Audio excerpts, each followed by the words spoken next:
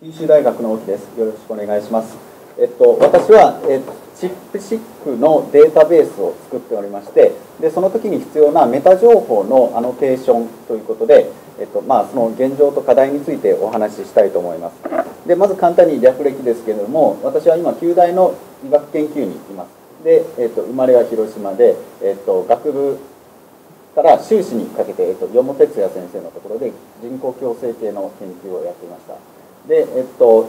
博士課程からは阪大の浜田博先生のところでマウスの発生学をやっていてで2007年から、えっと、旧大の目の先生のところでマウスの発生学と、まあ、多能性幹細胞の研究を行っております。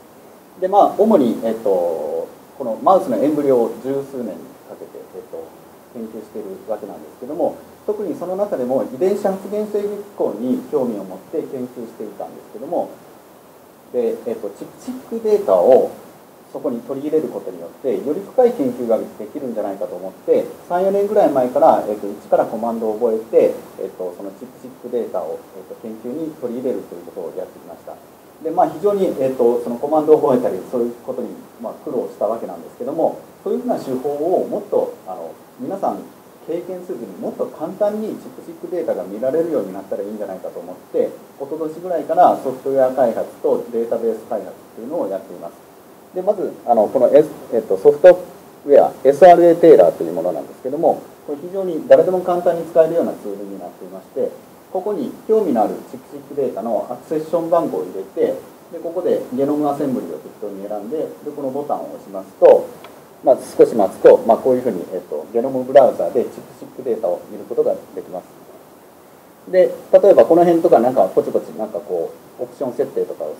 することもできてピークコールしたりあと,、えーと、バムファイルを作ったりとかもできます。であとここのところ、えーと、アクセッション番号の他にユーザー自身が持ってるファスト Q ファイルをここにドラッグするだけで、えーと、同じようにいろんな計算をすることができます。でさっきちょっとあの児玉さんの話聞いてて思ったんですけども、まあ、どんな、えー、と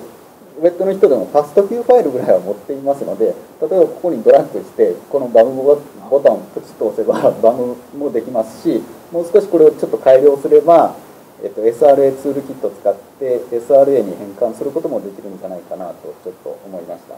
でまあこの辺になんかあの必須項目ですね。抗原とか細胞とかっていうのをあの入力するようななんかそういうふうな GUI を作られたらあのより、えっと、いいんじゃないかなとちょっと感じました。でまあちょっとこれは脱線なんですけどもでえっとまあ、こういうふうに SRA テーラーっていうのは個別のデータを一個一個こう見ていくのは非常にあの誰でも簡単にできるようになってるんですけどももっと多くのデータを一度にまとめて見られるようになったらいいんじゃないかと思って、えっと、太田さんとの共同研究で、えチップアトラスという、えっと、データベースを作っています。でこれは、え論文などで報告された全てのチップチップデータを利活用するためのデータベースということで、えー、人で約1万5000でマウスで約1万ぐらいのデータを、えっと、集めております。でこれら全てを計算処理して視覚化してでそのその中でデータ横断的な解析をして、えっと、いろんな知識あいろんな予測などを、えっと、ユーザーの人が分かりやすいような形で提供するということをやっています。でこのチップアトラスというのは、えーウェブサービスでして、まあ、この GUI は太田さんに作っていただいたんですけども まず最初にここで、えーと、抗原のカテゴリーですね。これを選びます。例えば転写因子とか、えーと、RNA ポリメレースヒストンなどから1つ選んで例えばここで転写因子を選ぶとその中に含まれている転写因子どんなやつがあるかっていうのがここに瞬時に表示されます。で細胞のカテゴリー例えばゴナドとかキドニとかリバーとかその中から1つ選ぶと例えばゴナドを選ぶと今まで報告された、えっと、ゴナド関係のチップシップデータの細胞はこんなものがありますよっていうのが瞬時に表示されます。でまあこういうふうに、えっと、細胞と抗原のカテゴリーを選んでここのボタンを押しますとゲノムブラウザの IGV と連動しておりましてまあ、例えばこういうふうな遺伝子の周りにこういうふうなタンパク質がこことこことここにまとまってくっついてますよっていうのが表示されるようになっています。で、えっと、この辺からちょっと、えっと、メインの話題になるんですけどもちょっとここで自慢したいのが抗原名と細胞名が非常にきれいに書かれてるということです。で例えばここここが抗原の名前でここが細胞の名前なんですけども、まあ、非常にきれいなわけです。ここも抗原と細胞の名前が非常にきれいに書かれてます。で、えっと、これ元のデータは SRA から引っ張ってきてますのででさっきから問題になっているように SRA のメタデータは汚いことで有名 みたいなんですけども、まあ、非常にきれいになってます。でじゃあなんでこんなことが可能になったかっていうと約3万以上のデータ全てにおいてメタ情報をマニュアルでアノテーションしたということです。でじゃあ、えっと、どういうふうにしてこのメタデータのクレンジングを行っているかという話題に入ります。でまずこの SRA には、えっと、シーケンスの生データだけではなくてメタデータが、えっと、登録されていて属性と属性値に分けられます。属性というのは例えばタイトルはこれこれ。あタイトルがこのこういうもの。で、えー、っと例えばソースネームはこれこれとか、えー、っとセルタイプが ESC これは ES 細胞のことですけども。あとチップアンタイトルはオプト4これは PAU5F1 という転写因子の属性になります。で私はこれを全て、え、っとこういうふうなメタデータを見てこのデデータの場合は抗原は PAU5F1 であろう。で細胞は m リ n クステムセルフであろうというふうに、えっと、一つ一つマニュアルでクレンジングしております。でこれで何が可能になるかというと任意の属性値でデータ抽出が可能になるということで例えば興味のある転写因子でデータを丸ごと取ってくる。とか興味のある細胞をキーワードにデータを丸ごと取ってくる。ということが可能になります。ですので、えっと、今作ってるデータベースチップアトラスっていうのは主に4つの機能があるんですけども、えっと、最初の方で示したように何がどこに結合するかっていうのを非常にきれいに表示することができます。で標的遺伝子は何なのかっていうのもすぐ分かるようになっていて転写因子を、えっと、このデータベースに、えっと、投げてやるとその標的遺伝子を返してくれるようなサービスがあります。で他にもある転写因子の名前をキーワードとして投げてやる。あクエリとして投げてやるとそれとゲノム上で強極材するようなパートナー因子を返してくれるっていったサービスもあります。で他にもちょっと時間の都合上あれなんですけどもユーザーデータを、えーと、投稿することによってそれを解析することもできます、まあ、こういうふうなことが可能になったのは全てアノテーションをちゃんと行ったからということが、えっと、ために可能になっています。でじゃあ、えっと、このキュレーション作業をもう少し詳しく見ていくんですけどもまず最初にやったことっていうのが属性の絞り込みっていうのをやりました。例えばこの SRX なんとかなんとかっていうこの ID ではこれだけの属性があってこれだけの属性値があります。でこの中の属性のどこに細胞名が書かれてるかでどこに抗原名が書かれてるかっていうのを、えっと、まずもっと簡単にあの分かるようにできてればいいと思いました。っていうのはどういうことかというとこの属性っていうのはここでは10個ぐらいありますけども今まで登録されてる属性っていうのは1000以上あります。でだから例えばこんなのとかあこんなのとかあこれか。フェノタイプとかジェンダーとか別に見なくてもいいわけなんです、細胞名と抗原名が知りたいだけなんで。ですのでこの1000個以上ある属性の中から属性の絞り込みっていうのを最初行って、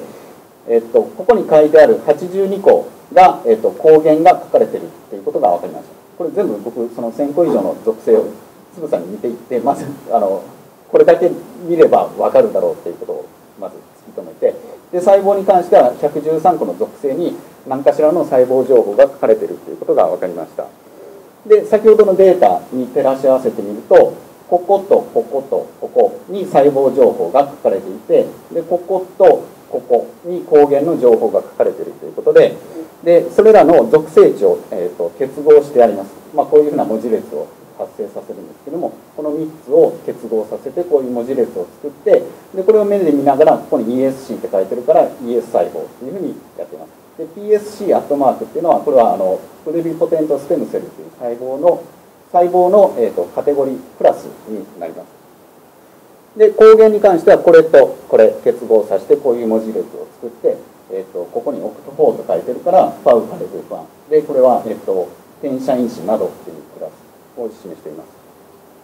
でこれ実際の作業風景なんですけども藤沢さんに教えていただいて Google リファインっていうのを使うと、まあ、よくであのできるよということでやってます。でこちら側がビフォーでこちら側がアフターになってます。でこういうぐちゃぐちゃしたのがこういうふうにきれいになっています。で、まあ、しかしその属性の絞り込みをやって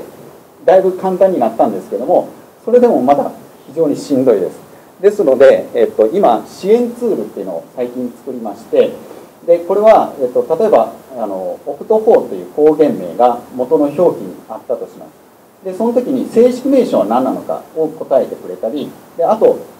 過去に僕が、えっと、キュレーションした時のログをたどってその時僕はどういうふうに、えっと、キュレーションしたかっていうあアノテーションしたかっていうのを返してくれるようなツールを作っております。